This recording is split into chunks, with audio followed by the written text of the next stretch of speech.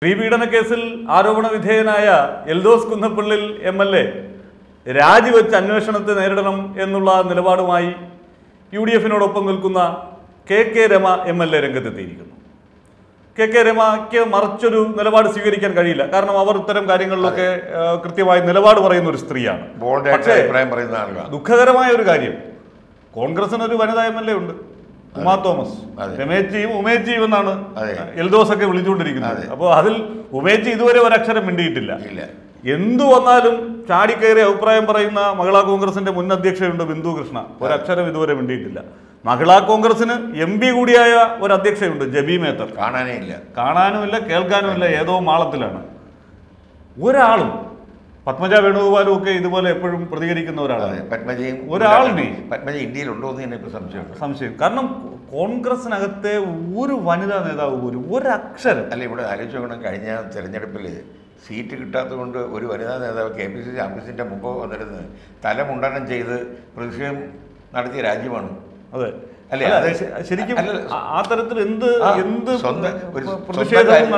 അല്ല അങ്ങനെ ഒരു ഒരു ചരിത്രമുള്ള ഒരു കോൺഗ്രസ് ആണ് പക്ഷേ ഈ ഒരു കോൺഗ്രസ് ഒരു പ്രാദേശിക നേതാവ് പോലും ബ്ലോക്ക് പ്രസിഡന്റ് പോലും ഇതിനെക്കുറിച്ച് പറയാനോ അല്ലെങ്കിൽ ഇത് ശരിയല്ല ഇയാൾ രാജിവെക്കണമെന്ന് പറയാനോ ഒന്നുമില്ല.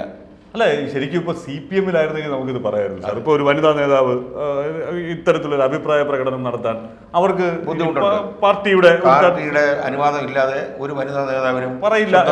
കോൺഗ്രസ്. അങ്ങനെയല്ല. സാറ് പറഞ്ഞതുപോലെ കെ പി സി സി ആഫീസിന്റെ ഫ്രണ്ടിൽ വന്നിരുന്ന് തലമുണ്ടനം ചെയ്ത് പ്രതിഷേധിക്കാൻ സ്വാതന്ത്ര്യമുള്ള ഒരു പാർട്ടിയാണ് പാർട്ടി, എന്ന് ചരിത്രം അടയാളപ്പെടുത്തിയിട്ടുള്ള ഇടപാട് അവിടെ ഈ വനിതാ നേതാക്കൾക്ക് ആർക്കെങ്കിലും ഒരാൾക്ക് ഇത് ശരിയല്ല എന്നെങ്കിലും പറയാൻ.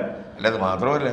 ഇപ്പൊ എൽദോസിന്റെ ഈ ബന്ധമുള്ള സ്ത്രീകളുടെ കണക്കെടുക്കാൻ പോലും പറ്റുന്നില്ലെന്നാ പറയുന്നത്. അത്രമാത്രം സ്ത്രീകളുമായി അയാൾക്ക് ബന്ധമുണ്ടെന്നാ പറയുന്നത്. ഇപ്പോൾ വിജിലൻസ് അന്വേഷണവും വരാൻ പോകുന്നു. അതെ. അപ്പോൾ അങ്ങനെയാണെന്നുണ്ടെങ്കിൽ ഇയാൾക്ക് വലിയ സ്ഥാനം പോകും. അങ്ങനെ നാറി രാജിവെക്കുന്നതിന് പിന്നെ മുമ്പ് കോൺഗ്രസ് പാർട്ടിക്ക് തീർച്ചയായിട്ടും പറയാം നിങ്ങൾ രാജിവെക്കൂ. അല്ല ഈ അഞ്ച് ദിവസമായിട്ട് പാർട്ടിയുടെ ഒരു എം എൽ എ കാണാനില്ല.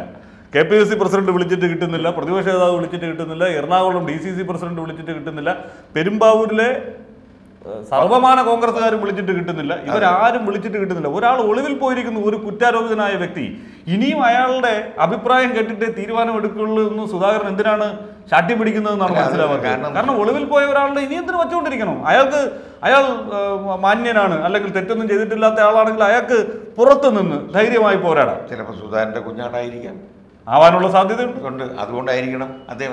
പിന്നെ അത് മാത്രം ഇന്നത്തെ വേറൊരു സംഭവം ഗുരുതരമായി നമ്മൾ കാണേണ്ടത് ഇപ്പോൾ പെണ്ണുങ്ങളെ കാണാനില്ല എന്ന് പറയുന്നു.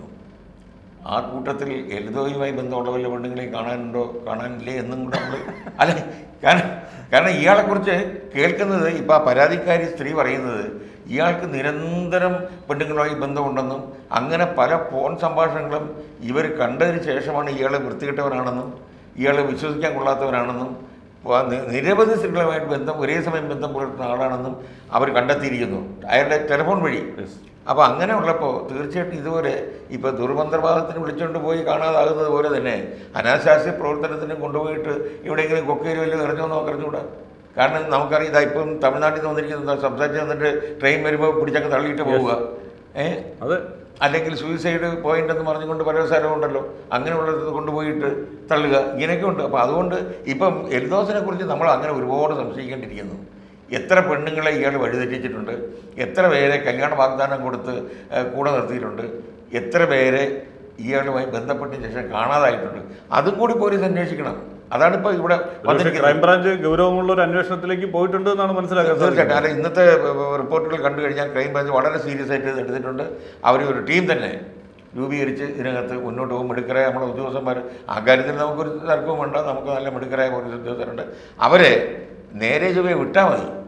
അവർക്ക് സ്വാതന്ത്ര്യം കൊടുത്തു കഴിഞ്ഞാൽ കുച്ചുവിലം ഇടാതിരുന്നാൽ പൂച്ചയോടൊക്കെ കഴിഞ്ഞാൽ അവർ തീർച്ചയായിട്ടും കണ്ടുപിടിക്കും. ഏത് പാതാളത്തിൽ പോയി ഒളിച്ചിരുന്നാലും രണ്ട് ദിവസമേ താൻ പുറത്തു വരും. അതിനുള്ള കഴിവ് നമ്മുടെ പോലീസിനുണ്ട്. അത് മാത്രം വിചാരിച്ചാൽ മതി. മിടുക്കനാണെന്ന് വിചാരിക്കരുത് ഒരിക്കലും. നിലാവുണ്ടെന്ന് വിചാരിച്ചിട്ട് തലേ ദിവസമേ വെളുക്കുന്നവരെ മോഷ്ടിക്കരുത്. ഇറങ്ങി വാ.